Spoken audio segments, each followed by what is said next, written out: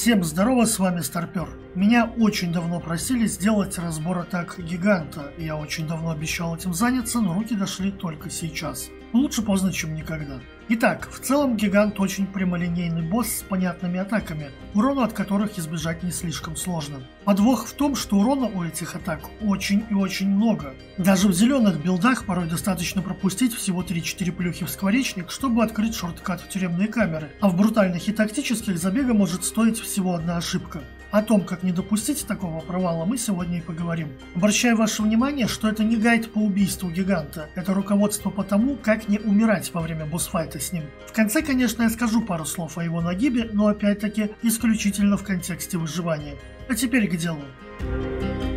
Бой с гигантом проходит на арене, окруженной лавой. Лава считается ловушкой вроде шипов и наносит соответствующий урон, так что крайне не советую в нее попадать. Снизить урон от лавы до 10% от максимального запаса здоровья можно с помощью мутации Мазохист, чертеж которой валяется в секретной зоне дремлющего храма.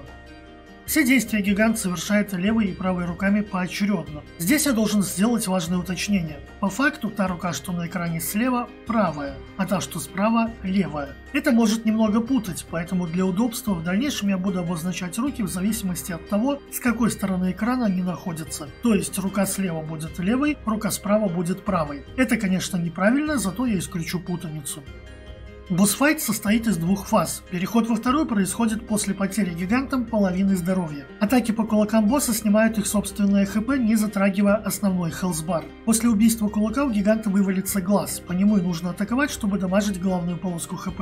Глаз вывалится на 3 секунды, а ограничения на количество урона, которое можно нанести по нему за это время, нет. Таким образом, переход во вторую фазу может случиться и на 50% здоровья босса, и на 40, и на 30, и даже меньше. Все за зависит от вашего ДПС. А теперь давайте подробно остановимся на самих фазах и действия гиганта, которые он в них совершает. В первой фазе у гиганта 4 простых атаки и 2 усиленных. Простые атаки могут наноситься как левым кулаком, так и правым, и отличий между ними, кроме того, с какой стороны вам прилетит по щам, нет. Начнем с простых.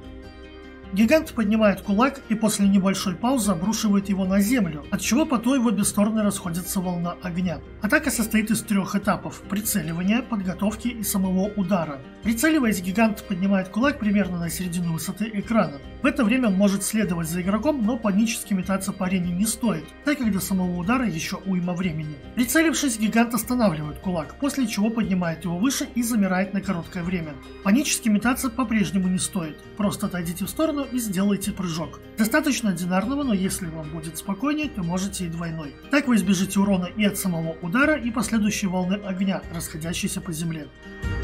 Гигант отводит кулак к краю экрана, быстро заряжает его и бьет по всей ширине арены. Не пытайтесь перепрыгнуть, не получится. Самый действенный способ – перекат, ну или парирование, если у вас есть щит. Подвох в том, что хук не только наносит урон, но и отталкивает. Если вы поймали его, то гигант может столкнуть вас в лаву, что с высокой вероятностью закончится летальным. Парировав удар, урона от него вы не получите, но вас все равно немного оттолкнет, то есть вы можете свалиться в лаву, даже если все сделали правильно. К тому же гигант иногда подкидывает подлянку в виде обрушения сразу после хука, задоджить которое становится сложнее. В общем, перекатывайтесь, это наилучший вариант. Фаерболы могут быть двух видов – прямые и волной. Различаются они, как вы понимаете, своим паттерном. Самый простой способ избежать урона – парировать все залпы, так вы еще и урон нанесете по атакующему кулаку. Но для этого нужен щит. Если у вас его нет, вы можете перепрыгнуть и уклониться от фаерболов. Фаербол волной – это тоже три залпа. При кажущейся сложности паттерна уклониться от волны проще. Достаточно двойного прыжка и вы в безопасности.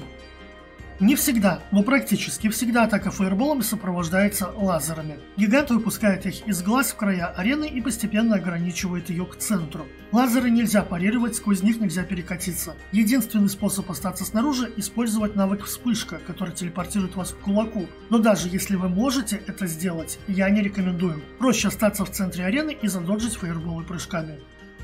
Зарядка сама по себе это не атака, но полноценное действие гиганта, по завершении которого очередь переходит к противоположному кулаку. Когда кулак будет заряжен на максимум, а отслеживать текущий уровень можно по наплечникам гиганта, босс совершит усиленную атаку. Для левого кулака это будет хел на минималках, который легко доджится обычным лавированием между фаерболов, благо летят они достаточно медленно и по предсказуемым траекториям.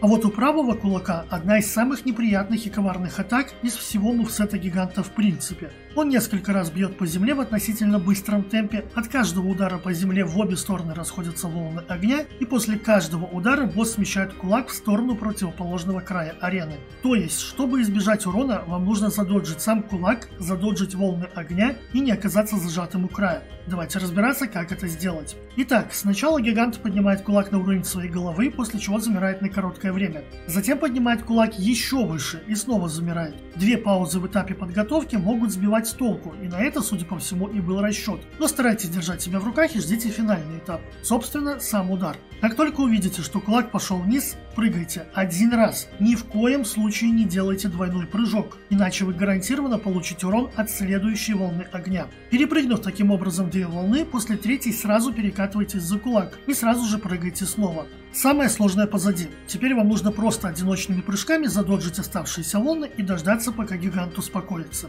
Это все атаки первой фазы. На всем ее протяжении крайне рекомендую держаться самого центра арены. Ориентироваться можно по нагруднику гиганта. Если будете так делать, то практически исключите случайное попадание под сужающиеся лазеры во время прыжка. Плюс эта позиция дает достаточное время, чтобы среагировать на все остальные атаки. Достигнув второй фазы, гигант всегда открывает ее новой атакой. Назовем ее двойным обрушением, например.